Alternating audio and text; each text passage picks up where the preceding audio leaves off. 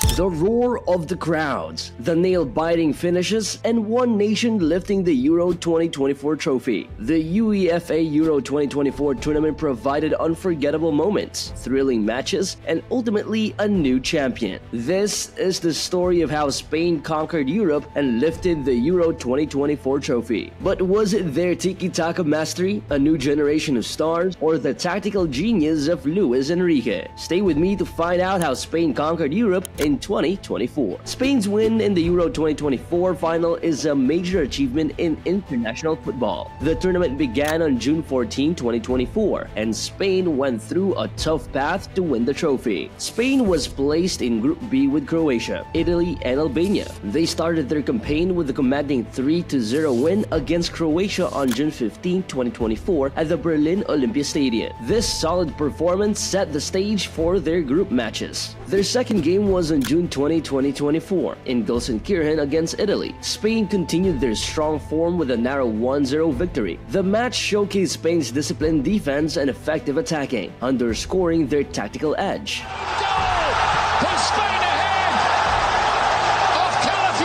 In their final group match on June 24, 2024 in Dusseldorf, Spain played against Albania. They ended the group stage with another 1-0 win. Spain's consistent performance across all three games meant they topped Group B with a perfect record, winning every match and showing they were ready for the knockout stages. The knockout phase started on June 30, 2024, with Spain facing Georgia at the Colonia Stadium. Spain showed their attacking strength with a decisive 4-1 win. Their smooth attacking play and sharp finishing allowed them to move on confidently to the quarterfinals. In the quarterfinals, Spain played against Germany on July 5, 2024 at the Mercedes-Benz Arena in Stuttgart. The match was a true test of endurance and skill. After a close 90 minutes, the game went into extra time. Spain managed to edge out Germany to a 2-1 victory thanks to their resilience and tactical adjustments. This win secured Spain's place in the semifinals. The semifinal on July 9, 2024 saw Spain take on France at the Allianz Arena in Munich.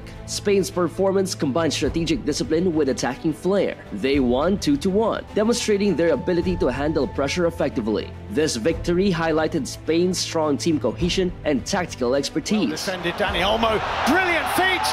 It's 2-1!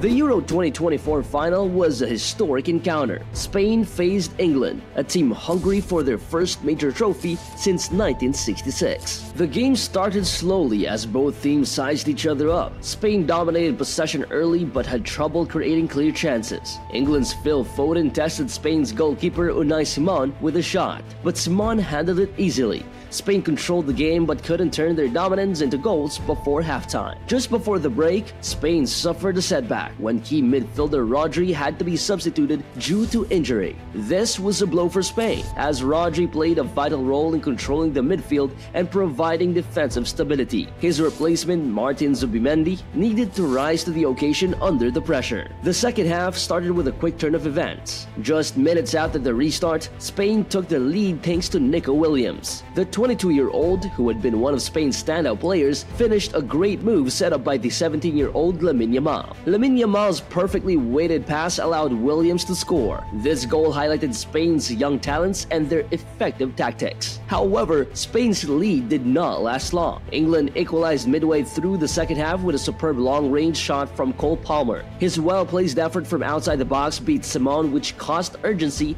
into both teams and made the game more dynamic as each side pushed for a decisive edge.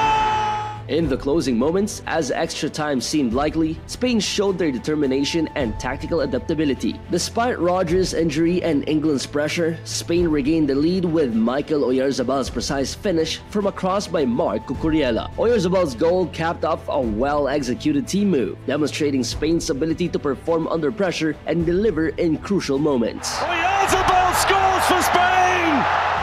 Spain's approach in the final combined their traditional style with some new elements. The use of wingers like Nico Williams and Lamine Yamal added width and energy to their game. Coach Luis de la Fuente showed tactical flexibility by adapting his strategy after Rodri's injury. Switching to a 4-2-3-1 formation helped Spain keep control of midfield and create more chances. Nico Williams, Lamine Yamal, and Michael Oyarzabal were key to Spain's victory. Williams' goal showed his excellence for seizing opportunities and finishing well. Yamal, despite being so young, played with composure and skill, making a big impact with his assist. Oyarzabal's late goal secured the win and underscored his importance to the team. Luis de la Fuente's approach in Euro 2024 mixed innovation with traditional Spanish football. Unlike previous Spanish teams that focused on possession and patient build-up, this one played a more direct style. They mainly used a 4-3-3 formation, which helped Spain make the most of their wingers and keep a high defensive line. This setup combined attacking fluidity with defensive discipline, allowing Spain to dominate games with both possession and counter-attacks. De La Fuente's strategy featured two proper wingers, Nico Williams on the left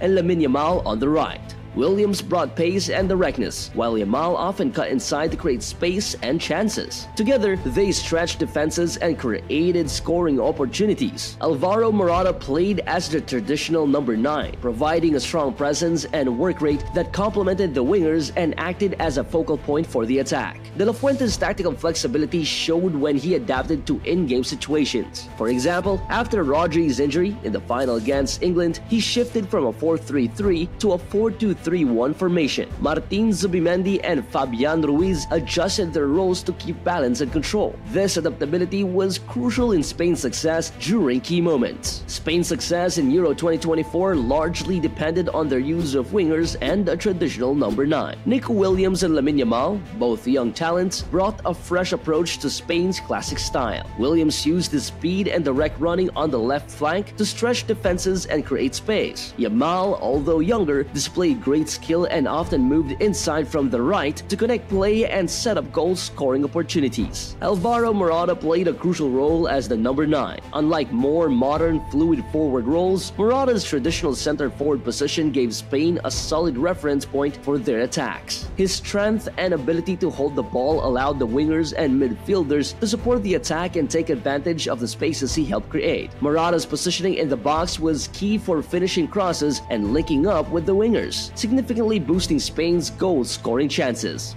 The synergy between the wingers and Morata was central to Spain's attack. The wingers' precise crosses and cutbacks were matched by Morata's ability to find the right spot and finish. This combination kept Spain a constant threat in the final third, leading to numerous chances and ultimately their victory in Euro 2024. Real Sociedad played a key role in Spain's success in Euro 2024, with several players making important contributions. Five players from the club were in the squad, and Michael Oyarzabal was a standout, scoring the decisive goal in the final. His ability to link up with teammates and contribute both offensively and defensively highlighted Real Sociedad's strong impact on the national team. But Oyarzabal wasn't the only Real Sociedad player who made a difference. Robin Le Normand and Aymeric Laporte, who were both crucial in defense, provided depth and stability to Spain's backline.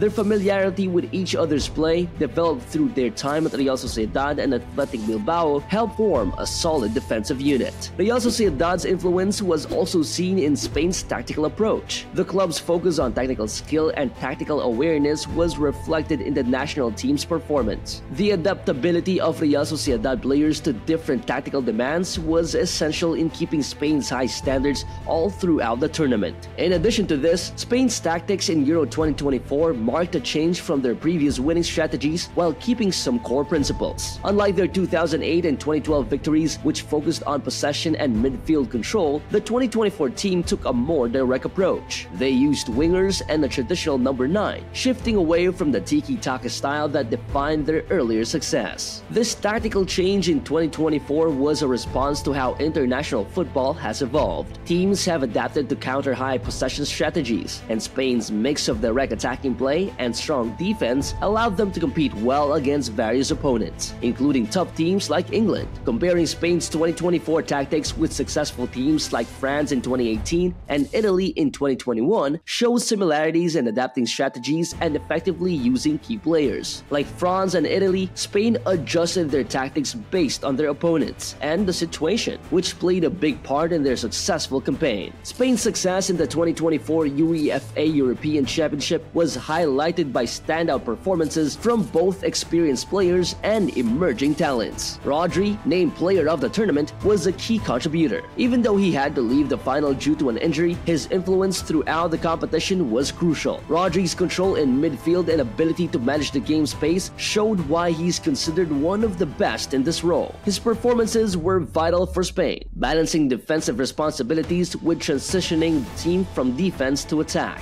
Nico Williams also made a significant impact, particularly in the final against England. The 22-year-old winger scored the opening goal, showing his knack for making decisive plays. His speed, skill, and creativity were constant threats to opponents, and his goal in the final underscored his importance to the team's strategy. At just 17 years old, Lamine Yamal emerged as one of the brightest stars of the tournament. His energy and technical ability made him stand out, and his assist to William in the final highlighted his excellent vision and playmaking skills. Yamal's record as the youngest player to score in a Euro semi-final solidified his status as a rising star. His contributions, including four assists and one goal, showcased his potential to be a key player for Spain in the future. So, what's your take on this? Let us know in the comments down below and stay tuned for more videos like this one.